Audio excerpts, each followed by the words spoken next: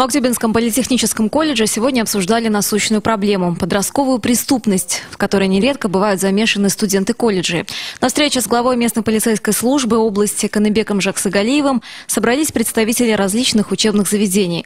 По его словам, ситуация на сегодня стабильная, но заметного улучшения не наблюдается. Поэтому призвал всех к тому, чтобы уделять больше внимания профилактике преступлений. Нас волнует в первую очередь студенты, обучающие в колледжах. Поэтому 22 колледжа по городу имеется, в целом по области 44.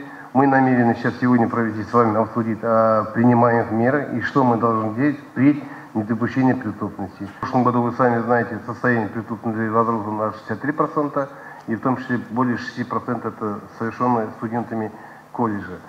В этом году мы, нами предприняли ряд оперативных профилактических мер. Практически наши инспектора не отдыхают.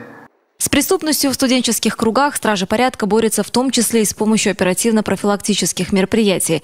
Так, с начала года в области прошли 13 таких мероприятий, а их итоги заставили задуматься.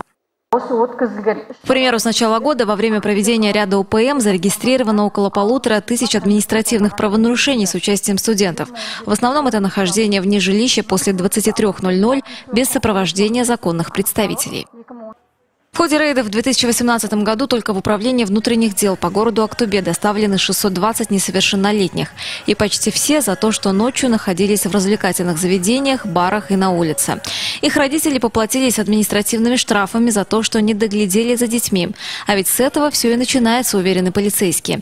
Сегодня по области насчитывается 44 колледжа, 22 из которых находятся в городе. В них учатся тысячи студентов, в том числе из других регионов страны.